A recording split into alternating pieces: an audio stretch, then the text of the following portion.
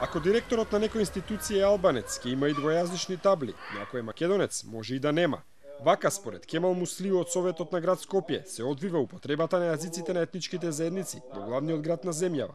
Според Муслиу, албанскиот како втор службен јазик на ниво на град Скопје половично се користи. Градот се појавува како основач на јавните предпријатија, средните училишта и осум културни институции. Можам да речам дека тука имаме големо шаренило, ако пример директорот на едно јавно предпријатие албанец, каде како што е случајот во, во ЈП комунална хигиена, јазикот се употребува на повисоко ниво. Додека во некои јавни предпријатија јазикот се употребува половично, да не речам у некои и минимално. Што се однесува на средните училишта, јазикот можам да речам дека полноправно, согласно законските одредби, се применува во тие средни училишта каде што директорите се албанци, додека во некои други средни училишта само надписите и евентуално печатите и штембилите што се на албански, додека она другото што произлегува ко норма од законот не се применува. Муслиу вели дека проблемите со двојазичноста се видливи на таблите на улиците или на институциите.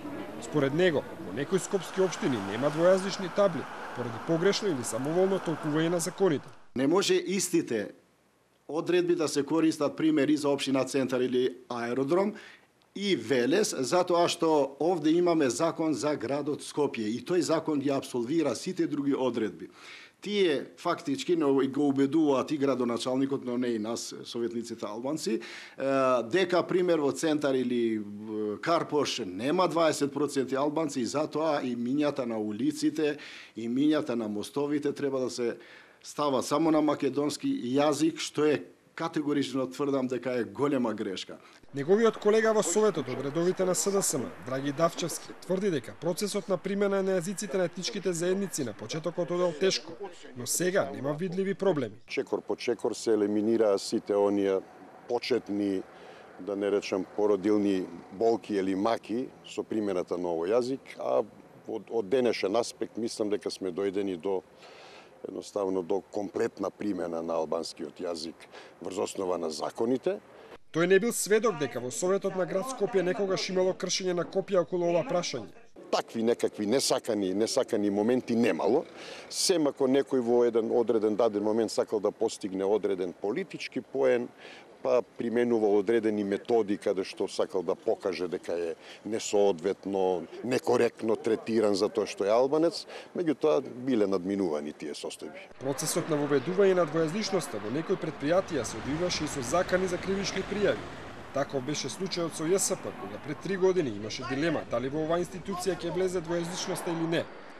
Денеска информативните табли потврдуваат дека такви дилеми нема, Од друга страна, во некои од институциите и заканите не ја променија ситуацијата.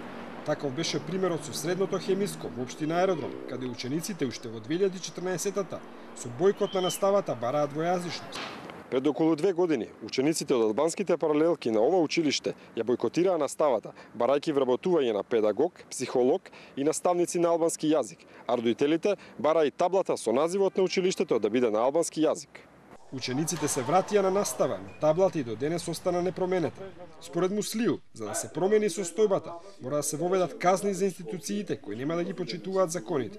И може би и тука е хендикепот или дефектот на законот за употребата на јазиците, зошто нема некој орган кој ќе ги надгледува овие ситуации и да има мандат за казнување на сите оние кои не ги почитуваат одредбите од законот за јазиците.